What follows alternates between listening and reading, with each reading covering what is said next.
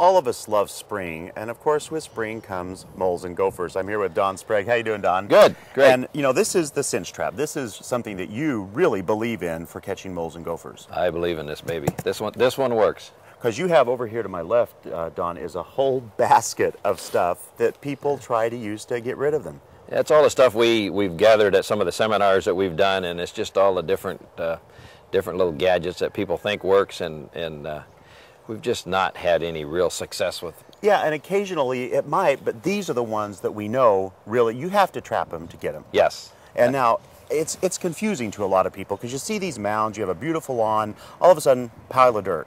What is it that you would do to, to get ready to set a, uh, a mole trap? Okay, what I would do is primarily I would like this is a this is a mole hill here, a little mound of dirt, and you can tell it because it's a nice little it's a nice little uh, mound of dirt itself, and the mole just keeps pushing dirt straight up. Uh-huh. So the size of the mound does not really indicate the size of the mole. Okay. It's just an activity level. So you know, and there's some other mole hills over here, and there's some down here. So let's just pick this one in the center, and I would probably take and remove this dirt away, and then I would probably dig out about a whole 14, 15 inch circle and then when you go down, you're going to find a tunnel that's going to go to that one over there and probably this one over here.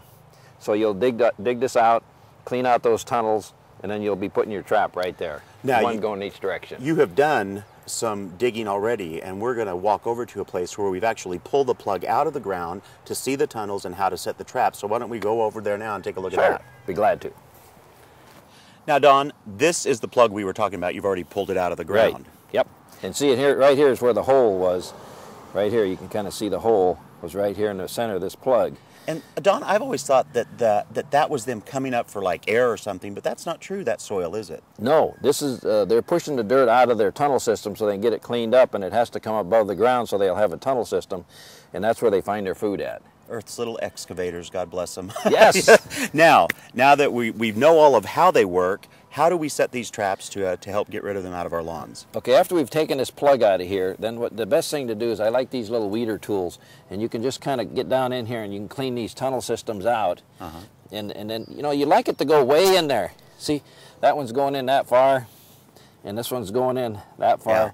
So you got a good, you got a good straight tunnel going there in each direction. Then you take your traps, and we suggest you wear gloves just to protect your own hands so you sure. don't you don't smack yourself. And the trap is really easy to set. Comes with instructions.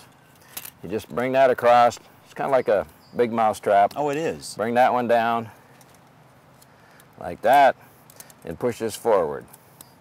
And then always hold it by the back side. Keep your hand away from here. Because that's where the flipping happens. That's where that flipping happens, yes. And so then you've got your little trap all set here. And you just take and you just work it in there. See, and remember yep. the tunnel is nice and clean. And I always like to elevate the back of the trap slightly. Okay. Makes it really easy for them. And that's what that clod of dirt in the middle of yep. the hole is for then. And then just set that right there. And then this other trap here, I've got it set. So just uh, take it and place it into the tunnel system. And always holding it by the back there. Push it on in there. Nice and free. And you're ready Just like go. that and, and you're ready to go. And now we play the waiting game. You play the waiting game, and tomorrow morning, you'll have him. So Don, I noticed that you, you cut the whole part of that soil out in one piece and just set it over there. Right.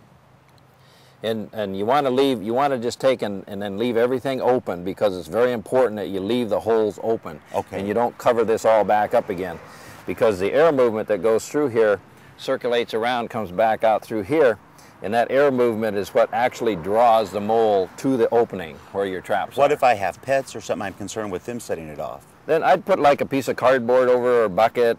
Uh, we actually even offer grates okay. that you just push down in the ground right over the top. And then when it's all caught and done, you can just put the plug of soil right back in there. Right. Yeah, you take this out of here, take your mole away, pick this up, put it right back in there, tromp it down, and you're done. Perfect and there, there, there it is. You know, so there's a, a lot of different things that are said about how to do this, but really the, the cinch traps have worked for a long time. You can go to almost any of your independent garden centers and find them. For more information, we invite you to go to gardentime.tv and we'll click you over to Don's website. Thanks so much, Don. Always Great. a pleasure, my friend. You bet.